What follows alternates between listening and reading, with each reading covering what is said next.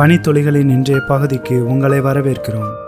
இன்றைக்குரிய தலைப்பு வல்லமையின் வரம். இன்றைக்குரிய வசனம் பரிசுத்த ஆவி உங்களிடத்தில் வரும்போது நீங்கள் பலனடைந்து எனக்கு சாட்சிகளாக இருப்பீர்கள். அப்போஸ்தலர் ஒன்று எட்டு. முதலாவது காரியம் பரிசுத்த ஆவியானவரை குறித்த வாக்கு தத்தம் பரிசுத்த ஆவியினாலே ஞானஸ்தானம் பெறுவீர்கள். அப்போஸ்தலர் ஒன்று நான்கு. பரிசுத்த ஆவியானவரை குறித்த வாக்கு தத்தங்களில் இதுவும் ஒன்றே. பரிசுத்த ஆவியானவரை குறித்த வாக்குத்தத்தமே பிதாவின் வாக்குத்தத்தமாகும். இரண்டாவது காரியம் பரிசுத்த ஆவியானவரின் வல்லமை. பரிசுத்த ஆவியை பெறும்போது பலனடைந்த சாட்சிகளாயிருப்பீர்கள்.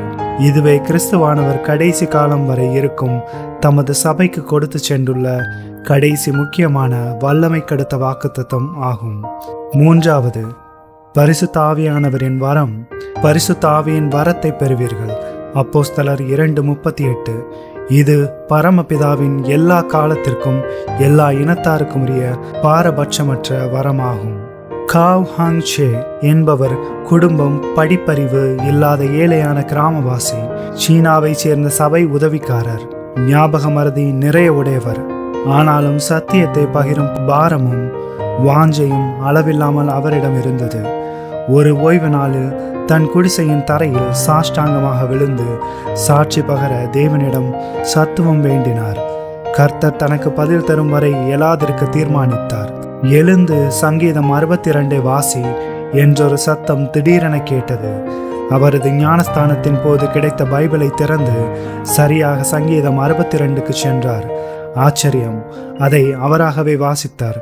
அளவில்லாத சந்தோஷம் ஓடிப்போய் கர்த்தர் எனக்கு வாசிக்க கற்றுக் கொடுத்தார் என்று சபை மூப்பரிடம் சொன்னார். ஒரே ஒரு முறை மட்டுமே வாசித்திருந்த சங்கீதத்தை மனப்பாடமாக சொன்னார். இயேசுவின் அன்பை எல்லாருக்கும் எடுத்துச் சொன்னார். வேதாகமத்தை திறந்து சத்தியங்களை பலருக்கு படித்து கொடுத்தார். அதே ஆண்டில் நூத்தி எண்பது பேர் இயேசுவை ஏற்று சபையில் இணைந்தனர். கிராமத்தை சுற்றிலும் நூற்றுக்கணக்கான அற்புதங்கள் அவர் மூலம் தேவன் நிகழ்த்தினார். எளிய மனிதன் வலிய ஊழியம் காரணம் வல்லமையான ஆவியின் அபிஷேகம் பூமியின் மாபெரும் மனிதர்களிடமிருந்து நீங்கள் கற்றுக்கொள்வதை காட்டிலும் தேவன் தமது பரிசு தாவியானவரை கொண்டு ஒரு வினாடியில் அதிகமாக உங்களுக்கு கற்றுக் கொடுக்க முடியும்.